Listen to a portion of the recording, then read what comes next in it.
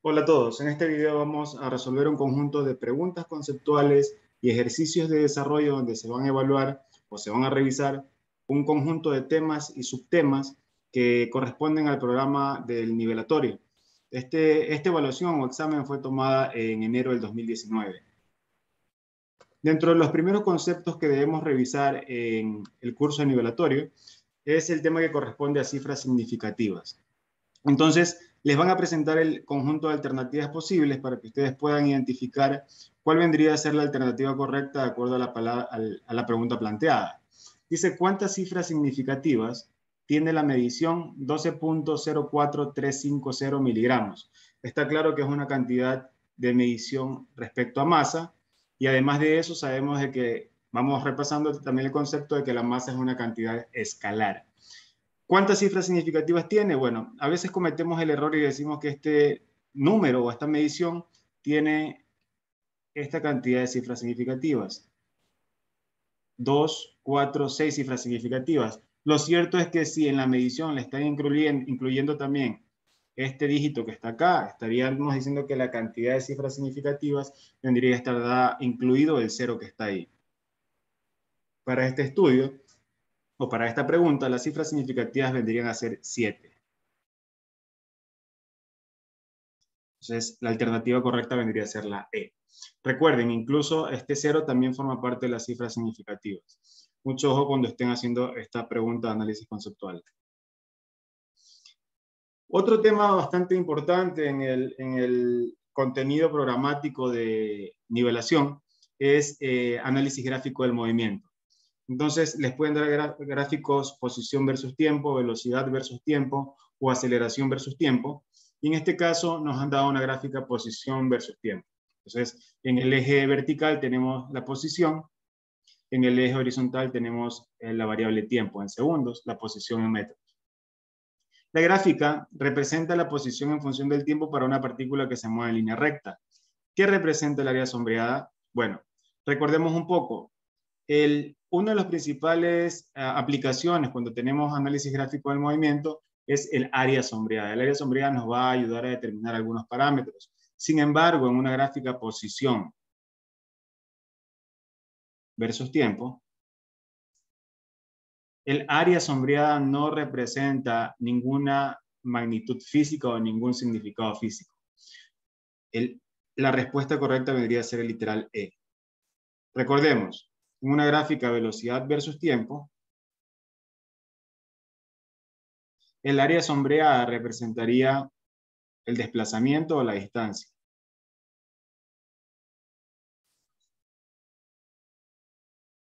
Dependiendo si está en la parte superior o parte inferior. Pues, Esto también se debe hacer eh, el análisis. Distancia, desplazamiento recorrido. Son dos conceptos diferentes también, mucho ojo con eso. Y en una gráfica aceleración versus tiempo, el área bajo la curva o el área bajo la gráfica representa el cambio de velocidad.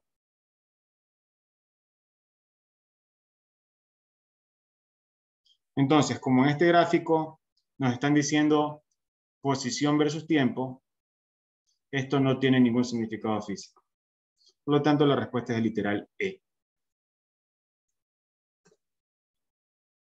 La siguiente pregunta dice, la gráfica adjunta representa. Esta pregunta está relacionada con la anterior nos dicen qué distancia recorrió la partícula durante los primeros 6 segundos.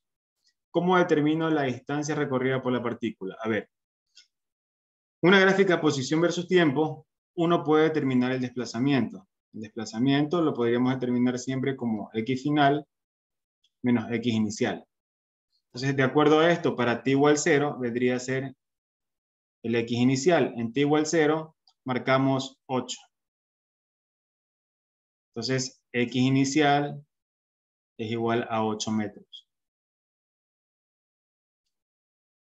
En t igual 6, porque me piden los primeros 6 segundos, en t igual 6 vendría a ser el tiempo final. Tiempo t, la posición final vendría a ser 0. Este es x final y esto vendría a ser x inicial.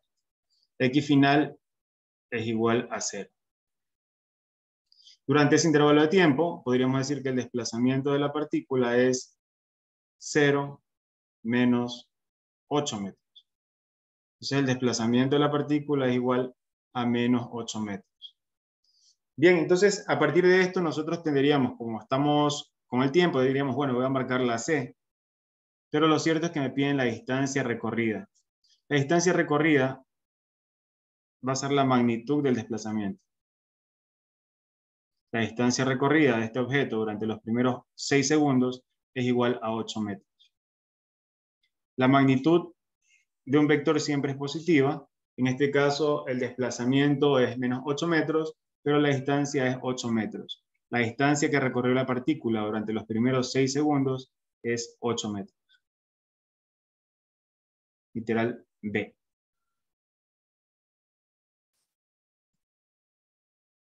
Siguiente pregunta. La siguiente pregunta es una pregunta conceptual. Nos dice, ¿qué dice la segunda ley de Newton? A ver, recordemos, la primera ley de Newton, primera ley es de la inercia. La segunda ley de Newton es la que establece que la aceleración y la fuerza son proporcionales, o ustedes la pueden haber conocido como fuerza neta igual a masa por aceleración. Eso es como la conocieron. La tercera ley de Newton es la que se conoce como acción-reacción. En este caso nos están preguntando respecto a la segunda ley de Newton. ¿Cómo sería el análisis? Bueno, eh, Literal A dice, el cambio de movimiento es directamente proporcional a la fuerza motriz impresa y ocurre según la línea recta a lo largo de la cual actúa aquella fuerza. Sí, aparentemente esta podría ser una opción correcta. Lo que no me deja convencido todavía es el cambio de movimiento. Tal vez sería el cambio en el estado de movimiento, pero puede ser verdadera la. Literal B dice, con toda acción ocurre siempre una reacción igual. Eso es la tercera ley. Por lo tanto, esta no es porque estamos hablando de la segunda ley. Me preguntan sobre la segunda ley. C. Todo cuerpo continúa en su estado de reposo, movimiento uniforme línea recta, no muy lejos de la. Todo cuerpo continúa en su estado de reposo, movimiento, eso es, al menos es el inicio de la primera ley, por lo tanto esto tampoco es. Literal D, el cambio de movimiento es inversamente proporcional a la fuerza motriz. Cuando el cambio del estado de movimiento, que sería la aceleración, es igual a la fuerza neta sobre la masa. De acuerdo a la segunda ley, el cambio de movimiento es inversamente proporcional a la fuerza. Eso es falso, es directamente proporcional de acuerdo a la segunda ley de Newton. La última dice, con toda acción ocurre siempre una reacción. Eso es tercera ley, por lo tanto, tampoco es. La respuesta correcta sería literal A. Esto vendría a ser más o menos el análisis para las tres leyes de Newton. Siguiente pregunta. ¿Cuál es la manera correcta de escribir la cantidad y nos ponen una cantidad con cero punto y algunos ceros. Segundos, ese, representa la cantidad de segundos. Recuerden que el tiempo es una cantidad escalar también. En notación científica, bueno, recuerden en notación científica pueden escribirlo de esta forma. Un número n por 10, voy a poner aquí a la a. Donde n siempre tenía que ser menor que 10, es decir, 9.9, 9.8, 9.1, 1.2, 5.4 y tiene que ser mayor, incluso puede ser mayor o igual que 1. Entonces, observando las alternativas que tengo, eh, esta cantidad aquí no podría ser. No podría ser porque el 0.48 que está aquí es menor que 1. Y veamos cuántos ceros debería recorrer. Aquí sería 1, 2, 3, 4, 5, 6, 7 y aquí debería quedarme 8. Entonces sería 4.8 por 10 a la menos 8. La respuesta, de acuerdo al análisis que estamos haciendo, sería literal D. Es una cantidad pequeña, dense cuenta que es una cantidad pequeña, nos hemos tenido que mover hacia la derecha en el, en el número para poder identificar. 2, 4, 6, 8. 4.8 por 10 a la menos 8. Esa sería la notación científica de manera correcta de la medida que han realizado en cuanto al tiempo. En cuanto a vectores, bueno, en este caso es vectores en tres dimensiones. Recuerden que I y JK son vectores unitarios. Es importante considerar que es un concepto que se va a revisar en, en el en el contenido programático del curso nivelatorio. ¿cuál es el vector f igual a 2d menos 3e? Entonces, si nos piden determinar quién es el vector f, conociendo que f es igual a 2d menos 3e, lo que les están diciendo es aplicar propiedades de vectores. Entonces ponemos el 2 aquí y reemplazamos el vector d. El vector d dice que es 3i menos 2j más 5k. A esto tenemos que restarle tres veces el vector e. El vector e es 2i menos 2j y menos 2k. Lo que hacemos ahí es aplicar las propiedades de multiplicación de un escalar por un vector y esto podríamos ponerlo como 2 por 3, 6i. 2 por menos 2, menos 4j. Y 2 por 5 sería más 10k. Ese sería el resultado de la primera operación. Luego ponemos menos y aplicamos lo mismo. 3 por 2 sería 6i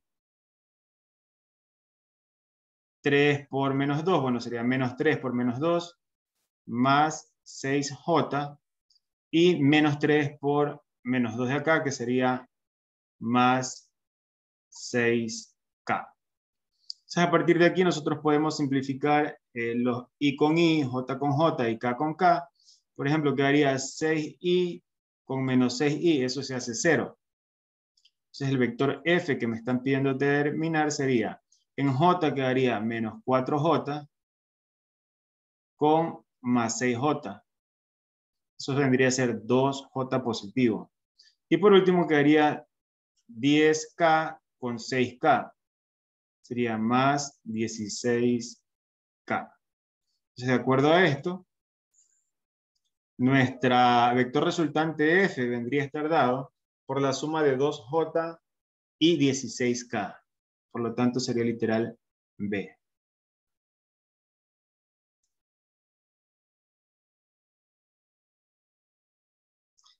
Vamos a resolver o analizar la siguiente pregunta.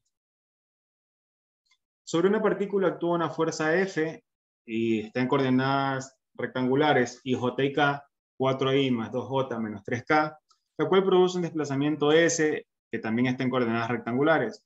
¿Cuánto trabajo realizó esta fuerza sobre la partícula? Si bien es cierto, el concepto de trabajo no forma parte de lo que les deberían evaluar, porque trabajo no está dentro de las unidades a, revisar, el concepto de trabajo o la definición simplemente dice que trabajo, se le pone W porque viene de work, esto se utiliza la W para definir el trabajo.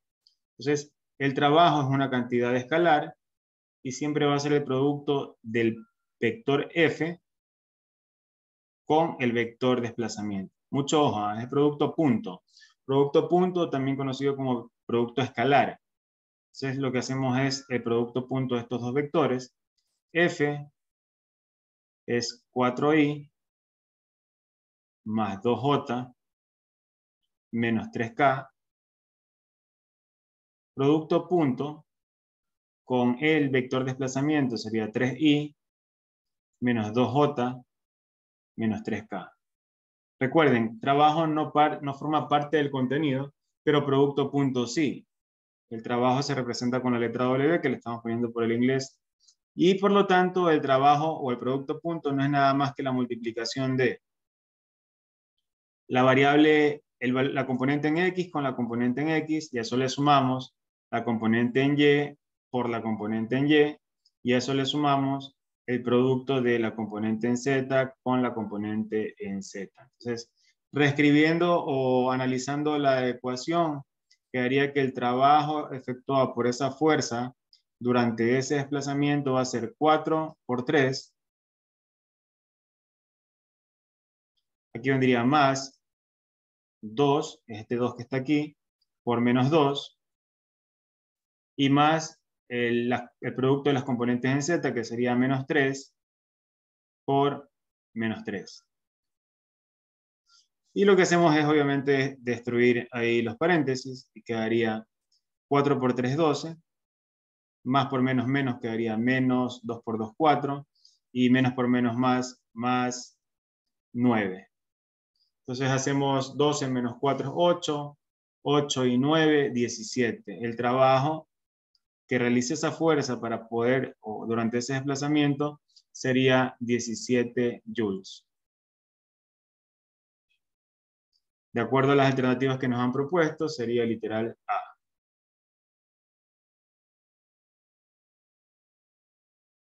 Continuamos un poco con los conceptos que hay que revisar. Un auto cubre una distancia de 5 kilómetros en 5 minutos. Su rapidez media es igual a, bueno, esto ya es cinemática, cinemática en una dimensión, donde revisamos los conceptos de, eh, si tengo distancia y tiempo, probablemente sería rapidez o velocidad. En este caso me piden la rapidez media. Por definición, la rapidez media, ustedes pueden ponerla con la S, porque viene de speed, siempre la van a poder calcular como la distancia que recorre el, recorre el objeto en un intervalo de tiempo. Para este problema sería distancia, que es 5 kilómetros, y el tiempo, que sería 5 minutos. Entonces, bueno, si dividimos 5 para 5 nos va a dar 1, por lo tanto la rapidez media. Para decir que es media le suelen poner una barra aquí en la parte superior, que haría 1 kilómetro por minuto.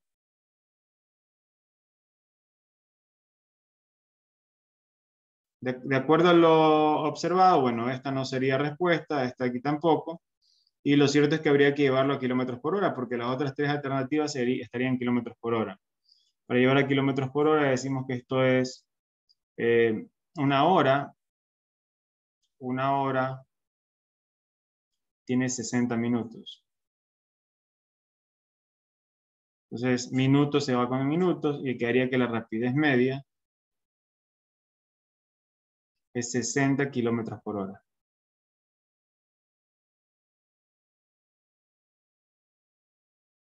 Esta vendría a ser la rapidez media para el problema que nos han planteado. 60 kilómetros por hora. 5 dividido para 5 queda 1 kilómetro por minuto, porque recorre 5 kilómetros en 5 minutos. Y de ahí por conversión de unidades nos quedaría 60 kilómetros por hora.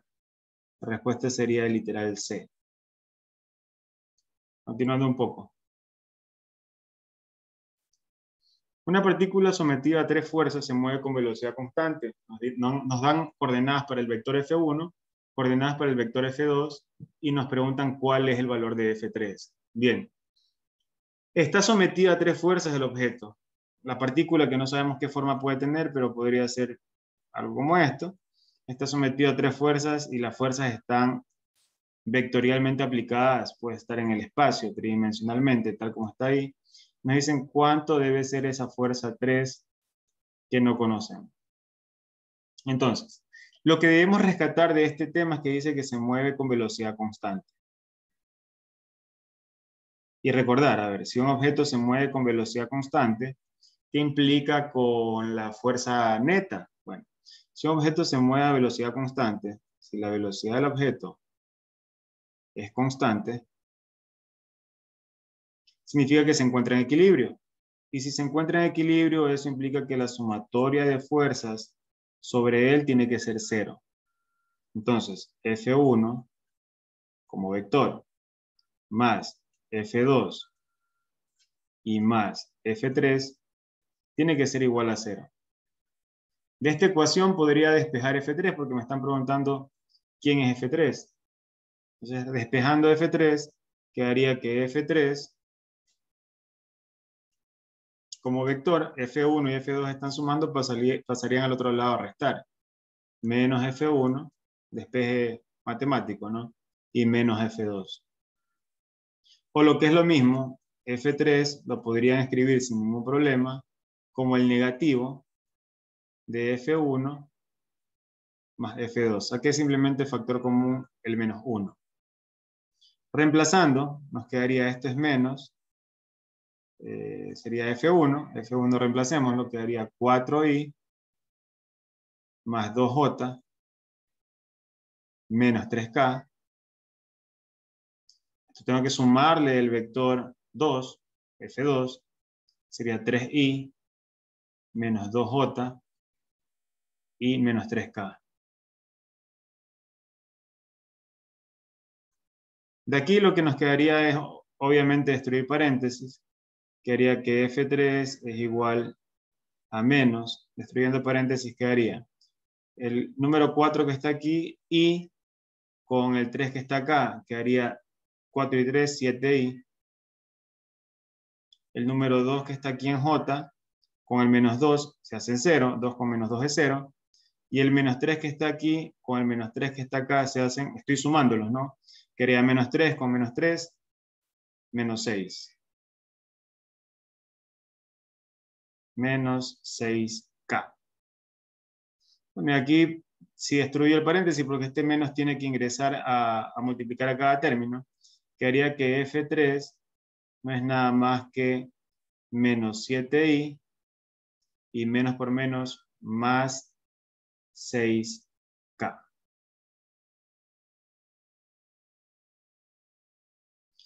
En este caso quedaría que F3 o la respuesta sería menos 7i más 6K. Obviamente estamos hablando de newtons, estamos hablando de una fuerza. Sería literal D, menos 7i más 6K. En mi canal de YouTube también tengo otros videos donde explico tridimensionalmente, un gráfico tridimensional, cómo sumar o cómo operar con vectores.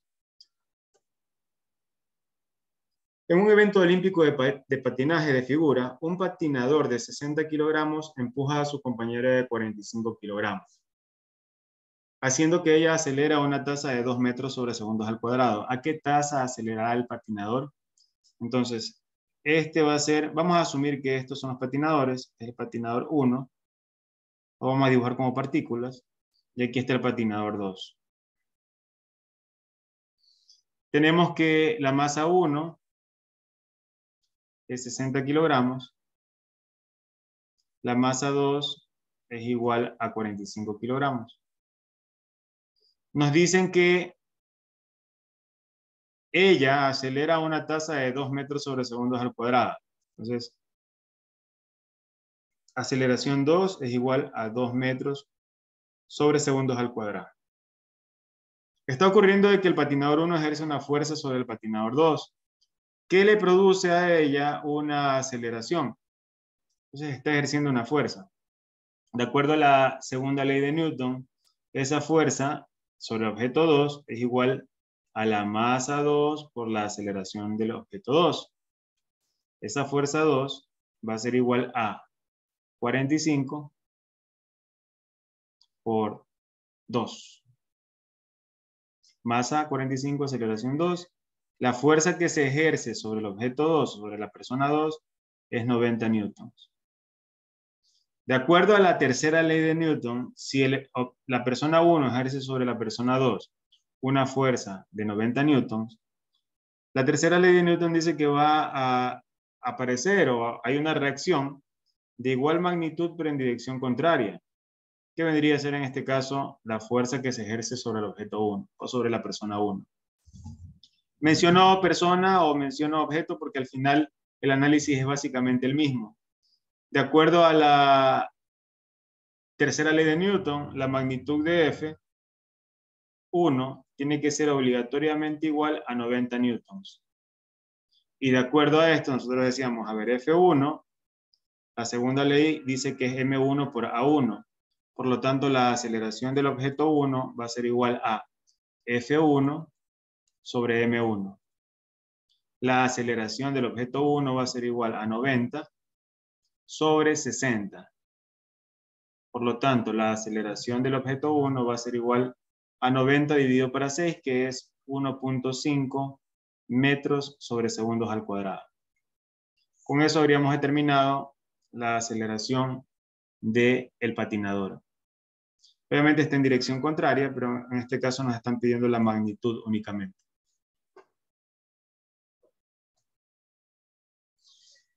Siguiente pregunta, dice, al mover un escritorio de 40 kilogramos de un, de un lado de un salón al otro, una persona descubre que se requiere una fuerza horizontal de 250 newtons. Esto es aplicación de leyes de Newton. Eh, tenemos como datos, tenemos la masa. El escritorio puede ser dibujado como un bloque sin ningún problema. La masa es 40 kilogramos. Eh, la fuerza horizontal que se requiere es de 250 newtons para poner el escritorio en movimiento. Es una fuerza aplicada. 250 newtons. Calcule el coeficiente de fricción estática entre el escritorio y el piso. Bien, nosotros tenemos un gráfico, podríamos poner un gráfico de la superficie horizontal y este bloque que podría representar la, el escritorio. Entonces, para poderlo sacar del movimiento, para poder cambiar su estado de movimiento, la fuerza F aplicada debería vencer a la fuerza estática máxima. La fuerza estática máxima, en este caso, si tiendo a que el objeto se mueva hacia la derecha, la fuerza estática máxima debería estar hacia la izquierda. Por definición, si nosotros planteamos eh, diagramas de cuerpo libre, bueno, aquí deberíamos también poner el peso y deberíamos poner la normal recordando que el peso y la normal no son un par de acción y reacción. Entonces, a partir de ese diagrama de cuerpo libre, nosotros podemos decir que eh, dice calcula el coeficiente de fricción estática entre el escritorio y el piso. Aquí básicamente estaríamos hablando de que la fricción estática máxima, que es la fuerza que se está aplicando para que comience a moverse, esa fricción estática máxima es igual a mu s por normal. ¿Y cuánto vale la normal? Bueno, la normal en este caso debería estar determinada por la sumatoria de fuerzas en Y.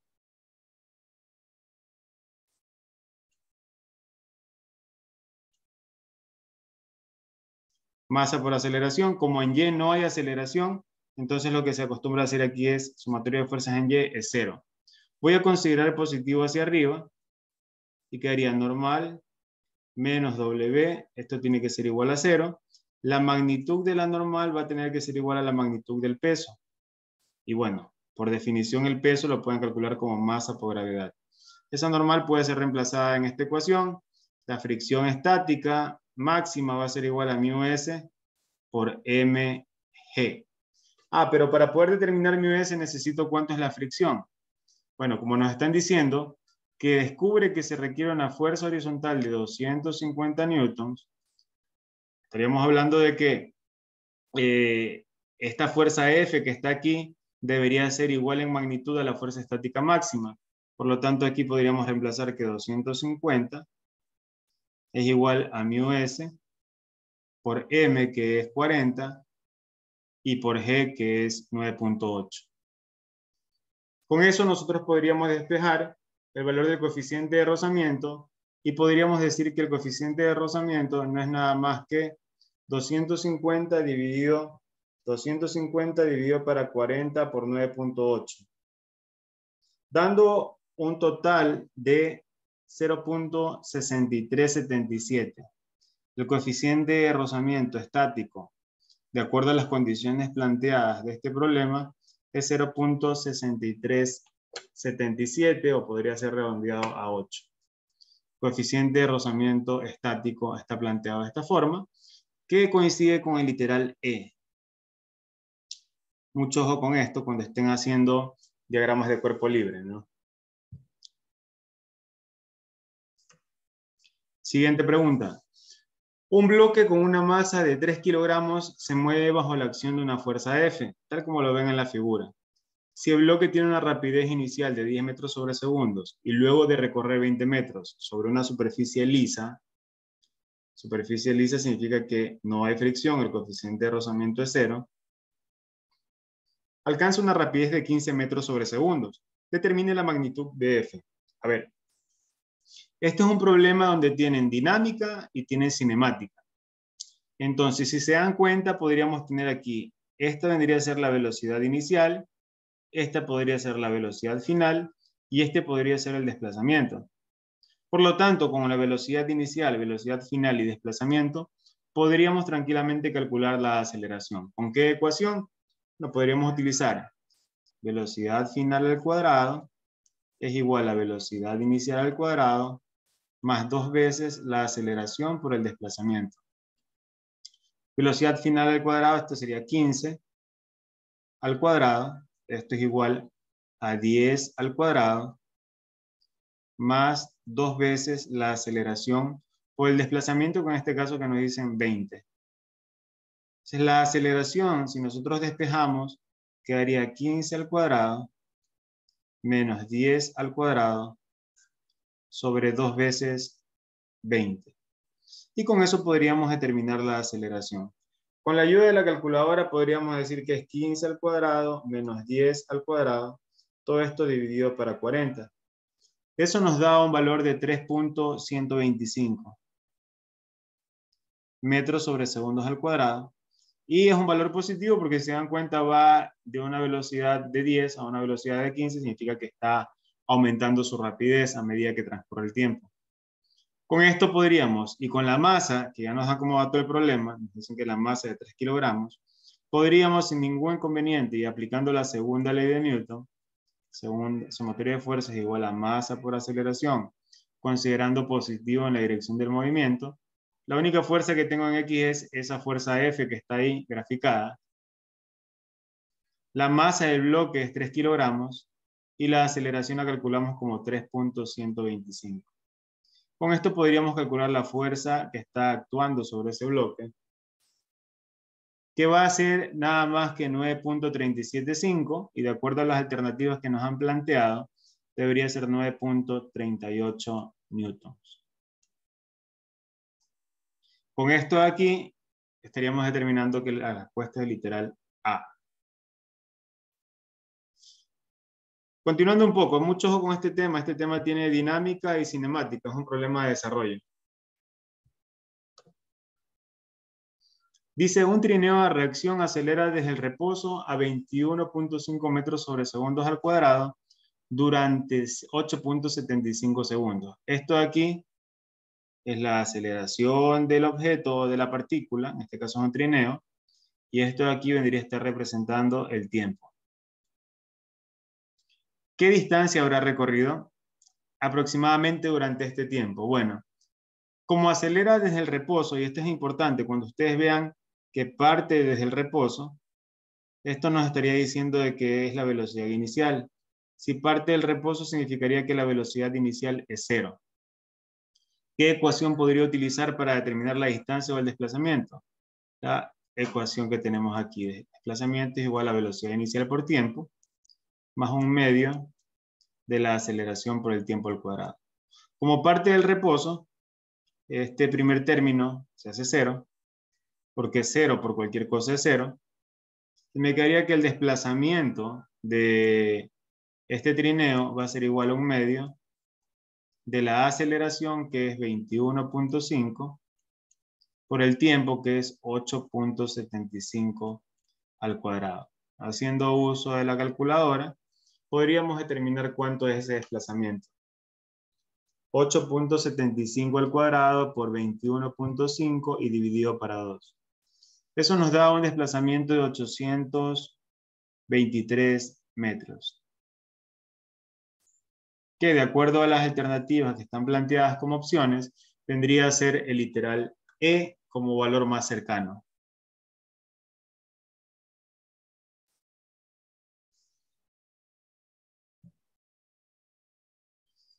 Siguiente pregunta, es un problema de un plano inclinado. Eh, dice un trineo se desliza por una colina que tiene una pendiente de 5 grados.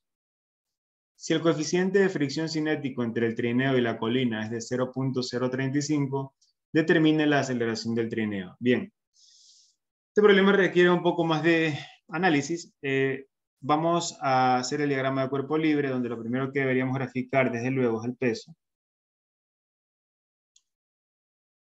el peso, siempre vertical hacia abajo.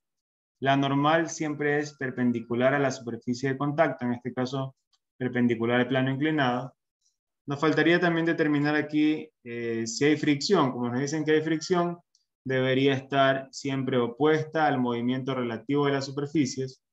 La fricción debería estar dada por un vector de esta manera. Lo siguiente sería descomponer las fuerzas que no se encuentren en el eje X o Y. Bueno, este aquí va a ser el eje Y. La normal se encuentra en el eje Y, no hay que descomponerla. Y este vendría a ser el eje X. paralelo al plano. La fricción se encuentra en el eje X, no hay que descomponerla, y lo que habría que descomponer es WX y WY. En mi canal de YouTube también tengo aquí, en este canal tengo eh, un procedimiento para determinar la aceleración sin fricción. En este caso vamos a resolver el problema porque hay aceleración en un plano inclinado con fricción. De acuerdo a lo que hemos aprendido en uno de los videos que tengo en el canal, este ángulo es equivalente al ángulo que está acá. Ya les voy a representar con color rojo. Es este ángulo que está aquí. Una vez que tengamos eso, ya nos ayuda a determinar que WX sería W por el seno del ángulo y WY vendría a ser W seno del ángulo. En este caso, W coseno del ángulo. ¿Ok? Entonces, lo que hacemos es sumatoria de fuerzas en X, sumatoria de fuerzas en Y. La sumatoria de fuerzas en X debería ser igual a masa por aceleración, positivo en la dirección del movimiento, en este caso sería en esta dirección, positivo hacia abajo al plano inclinado, y lo único que tendríamos ahí sería WX positiva, menos la fricción que vendría a ser negativa, porque está en dirección contraria a mi sistema de referencia. Este es igual a masa por aceleración. La aceleración es nuestra incógnita, recordemos eso.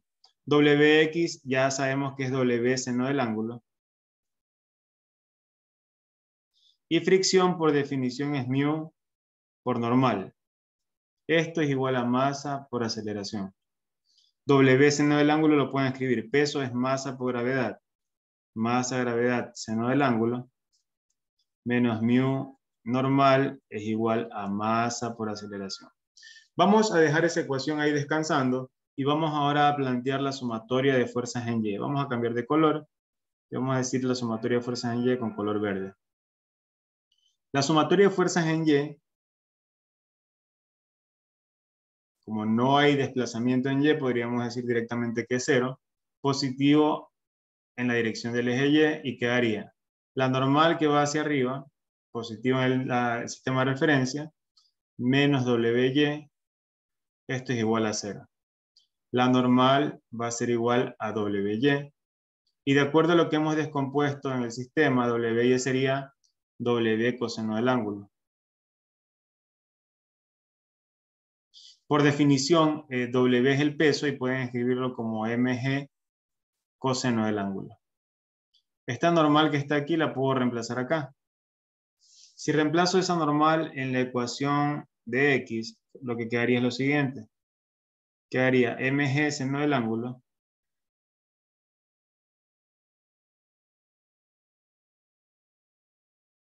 menos mu por normal, donde la normal ya sabemos que es mg coseno del ángulo.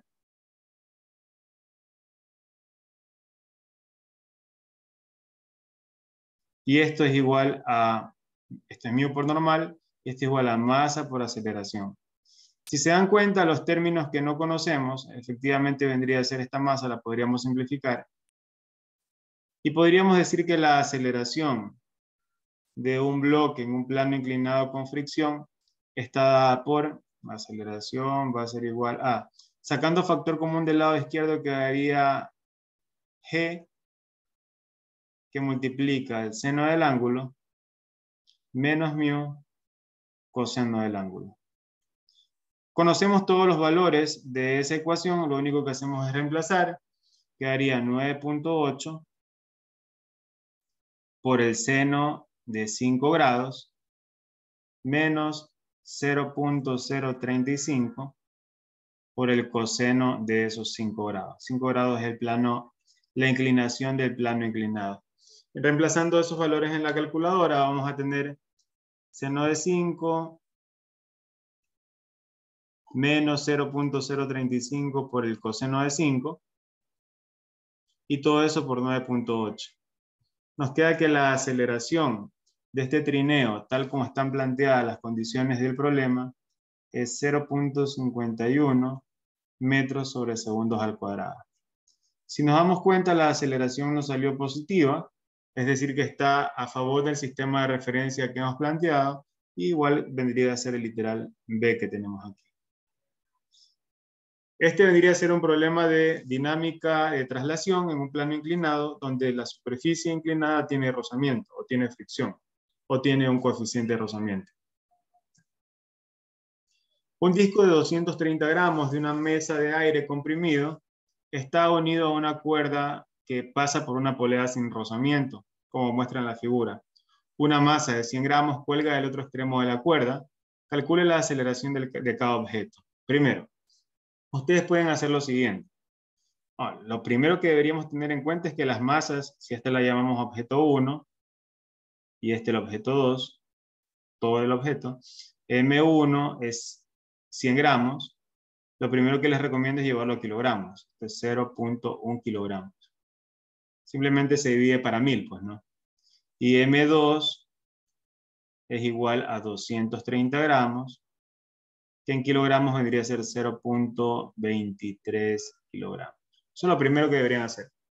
Lo segundo dice, no hay rozamiento, entonces lo que ustedes van a tender a hacer es diagramas de cuerpo libre. Entonces hacen el diagrama de cuerpo libre de cada uno de ellos. Y quedaría peso 1, vertical hacia abajo, la tensión T. Esta es la misma cuerda que viene hacia acá, tienes una tensión T. Bueno, aquí te quedaría el peso 2. Una normal, porque tiene que haber una normal al haber una superficie de contacto, y no hay fricción. Entonces, hace sumatoria de fuerzas en Y para el bloque 1, sumatoria de fuerzas en X para el bloque 2, pero dado que no hay fricción, les propongo una solución un poco más efectiva. Lo que debemos hacer ahí es establecer cuál es la fuerza que está produciendo aceleración en el sistema. Y si ustedes se dan cuenta, la fuerza que produce aceleración en el sistema es esto de aquí, W1. Esta fuerza T que ustedes ven acá y esta fuerza T que está acá esta con esta, son fuerzas internas del sistema y por lo tanto si consideramos a todo como un solo sistema se puede anular. Pero esta W1 sí está actuando y de hecho es la que produce la aceleración del sistema. Entonces, la aceleración del sistema la van a poder calcular de una manera muy simple. Eh, va a ser igual a la fuerza dividido para la masa, pero ¿qué fuerzas van a considerar aquí? La fuerza neta dividido para la masa. Esto dice la segunda ley de Newton. Entonces, de acuerdo al planteamiento del problema que tenemos ahí, la fuerza que está produciendo la aceleración es W1. Entonces aquí la fuerza total que está actuando sobre el sistema y que produce aceleración sería M1 por G. Y la masa sería la masa del sistema. Entonces al decir masa del sistema ustedes deberían poner M1 más M2. Con esto ustedes reemplazan y les quedaría que la aceleración es igual a M1 es 0.1 por 9.8. Todo eso dividido para 0.1 más 0.23. La respuesta vendría a ser la aceleración es 2.97 metros sobre segundos al cuadrado. En este caso, la aceleración que tiene el bloque 1 es exactamente igual a la aceleración del bloque 2, porque están en la misma línea y están atadas por la misma cuerda. Ustedes van a decir, ¿y puedo hacer diagrama de cuerpo libre por cada uno y plantear las ecuaciones por cada uno? Sí, sí pueden hacerlo y van a llegar exactamente a la misma respuesta. Ojo, esto lo podemos hacer porque la única fuerza externa que influye directamente en la aceleración del sistema es W1. La aceleración que tenemos aquí es 2.97. Siguiente pregunta. Dice, un estudiante lanza un objeto hacia arriba desde una altura de 1.5 metros por encima del nivel del suelo con una rapidez de 11 metros sobre segundos. Simultáneamente, otro estudiante situado en el tejado del edificio, que tiene 12.6 metros de altura, arroja otro objeto directamente hacia abajo a 11 metros sobre segundos. ¿Dónde se encontrarán ambos objetos? Bien, lo que tenemos que hacer aquí es primero identificar qué es eh, qué fenómeno estamos describiendo y en este caso es movimiento vertical, movimiento vertical de dos objetos, uno que va de abajo hacia arriba y otro que está siendo lanzado de arriba hacia abajo. ¿Qué debemos eh, fundamentalmente tener en cuenta? Que las ecuaciones son de manera vectorial y eso lo vamos a ver en la aplicación. Entonces, un objeto, dice un estudiante lanza un objeto hacia arriba desde una altura de 1.5 metros. Esto aquí es 1.5 metros. A partir de aquí, lanza el objeto 1 una piedra. Y la lanza con una rapidez o con una velocidad, porque está lanzando hacia arriba, de 11 metros sobre segundo. Voy a considerar todo lo que vaya hacia arriba como positivo. Este va a ser mi sistema de referencia. Este va a ser mi nivel de referencia, esta parte de aquí, el suelo. A partir del suelo mido todos los parámetros que vamos a considerar. Vamos a poner nivel de referencia.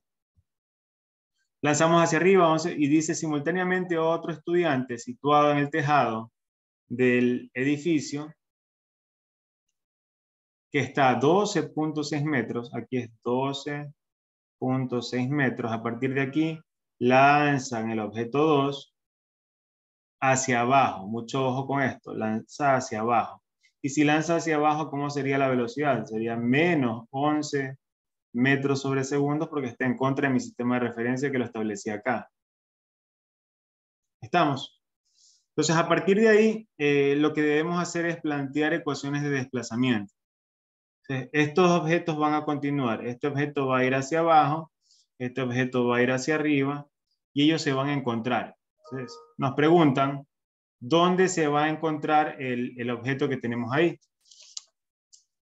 Entonces, a partir de esto, nosotros podríamos decir que el objeto va a estar dado por eh, la velocidad que tendríamos ahí. El desplazamiento tendría que estar considerado a partir de eh, este desplazamiento que tenemos aquí. Esto vendría a ser delta Y1. Este vendría a ser delta Y1. Y esto vendría a ser delta Y2. Entonces, ¿cuánto quedaría delta Y1? Delta Y1, como por definición, vendría a ser igual a velocidad inicial en Y por T menos un medio de la gravedad por el tiempo al cuadrado. Entonces, delta Y1 va a ser igual a velocidad inicial 11 por T menos un medio de la gravedad. Como gravedad es 9.8 dividido para 2 sería 4.9 T al cuadrado. Lo mismo vamos a continuar en el análisis de delta Y2. Delta Y2 va a ser igual a, el desplazamiento para el objeto 2 es hacia abajo.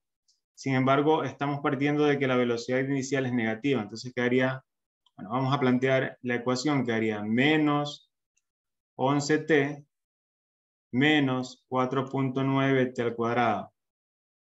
Si se dan cuenta, el desplazamiento de, Y2 debería ser negativo, y de hecho nos saldría negativo porque tiene menos 11t menos 4.9t al cuadrado. Pero lo que nos interesa en este análisis es la distancia. ¿Por qué? Porque esta distancia que tendríamos aquí es la suma de la magnitud de delta Y1 con delta Y2. Entonces, vamos a ponerlo únicamente como positivo porque nos interesa el análisis positivo de este vector. Esto quedaría 11t negativo y este negativo al ser valor absoluto quedaría más 4.9t al cuadrado. Considerando eso, eh, decimos que si todo el edificio tiene 12.6 metros y esto de acá tiene 1.5, la diferencia vendría a ser 11.1 metros. Entonces lo de aquí vendría a ser 11.1 metros. Es decir, el desplazamiento que realiza la partícula 2 más el desplazamiento que realice la partícula 1 tendría que ser igual a 11.1 metros. Sumando estas dos ecuaciones, si se dan cuenta, quedaría 11, en el lado izquierdo quedaría 11.1 metros, en el lado derecho quedaría 22t, y 4.9 con menos 4.9 se simplifican y quedaría que el tiempo en el que se encuentran es 11.1 dividido para 22. y eso nos da un valor de 0.5 segundos aproximadamente. Se encuentran cuando han transcurrido 0.5 segundos que, analizando el desplazamiento, nos preguntan, a partir del suelo, si es a partir del suelo, lo que deberíamos hacer es determinar cuánto es delta Y1 y a eso sumarle el 1.5 metro que tenemos acá. Delta Y1 lo podríamos calcular de aquí.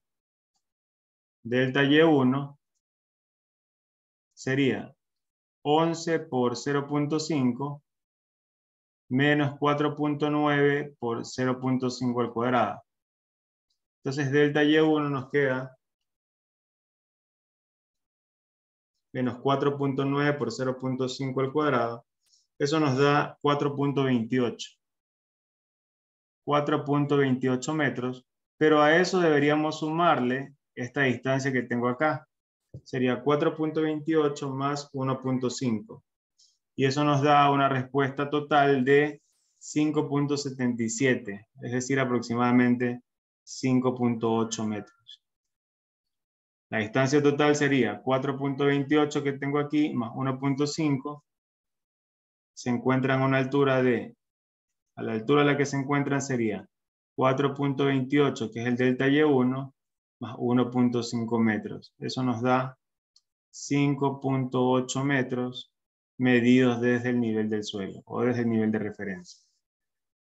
Un problema un poco complejo porque requiere análisis de dos ecuaciones, pero si uno plantea las ecuaciones adecuadamente no debería haber ningún inconveniente.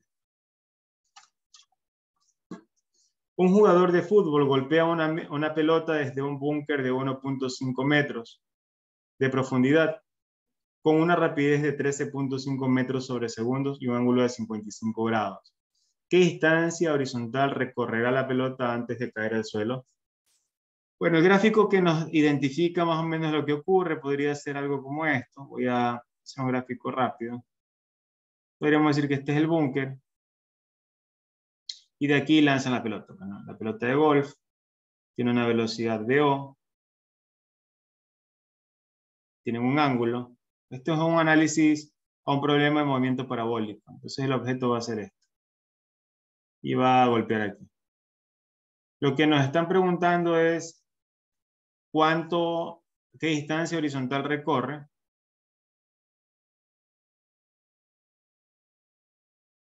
durante este desplazamiento. Entonces, ¿cuánto sería delta X? por definición, lo primero que les recomendaría aquí es calcular cuánto es BOX, que es por definición es BO, en este caso coseno del ángulo. BOX sería igual a BO, que es 13.5, esta es la rapidez inicial, BO y el ángulo es 55. Sabemos que esta, esta altura de aquí es 1.5 metros. 1.5 metros sería esto de aquí hasta acá, porque este es nuestro nivel de referencia. BOX sería 13.5 por el coseno de 55 y eso nos da 7.74 metros sobre segundos. Esa es BOX.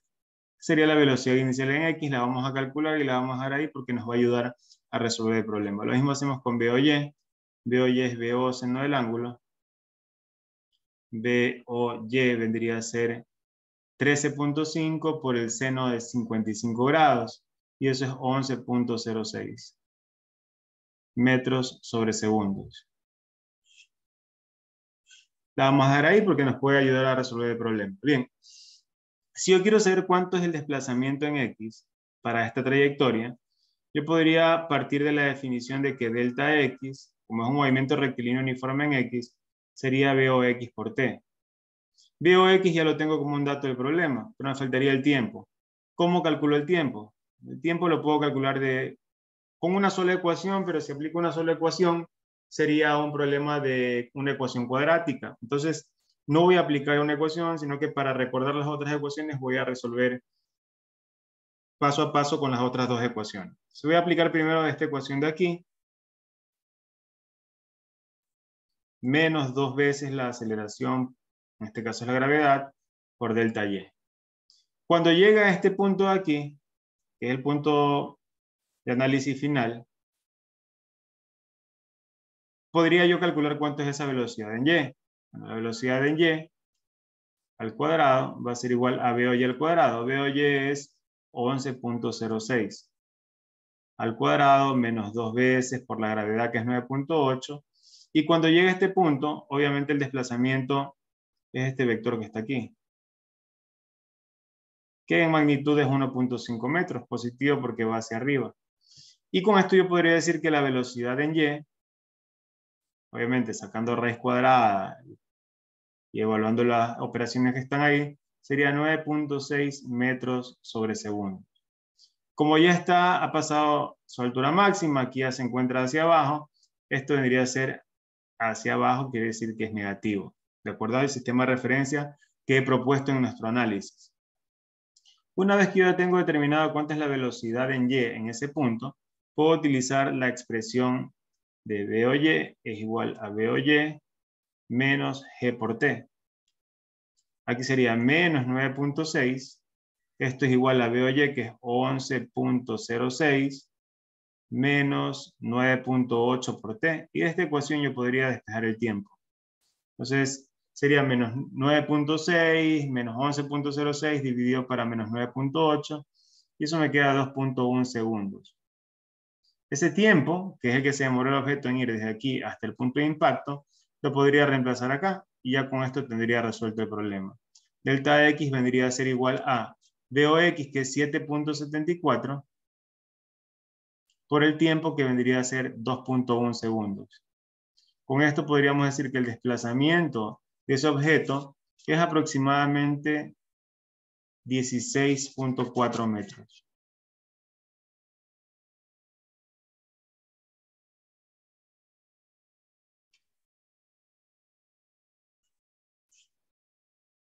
Recuerden, este problema eh, no necesariamente tienen que resolverlo de esta forma, igual todo lo que he propuesto aquí son sugerencias, pero eh, quise hacer recuerdo de esta ecuación que es importante cuando estamos resolviendo problemas y de esta ecuación que es importante cuando estamos resolviendo problemas de movimiento vertical. Esta vendría a ser una de las últimas preguntas. Dice, el movimiento de una partícula en línea recta se muestra en la gráfica velocidad versus tiempo. ¿Cuál fue la velocidad media de la partícula durante los primeros 25 segundos? Gráfica velocidad versus tiempo. Recordemos, si es velocidad versus tiempo, el área nos va a dar el desplazamiento o la distancia. Bueno, una vez que, como la gráfica está solamente en el área superior o en la parte superior, definitivamente eh, podríamos concluir que la distancia es igual a la magnitud del desplazamiento sin ningún problema.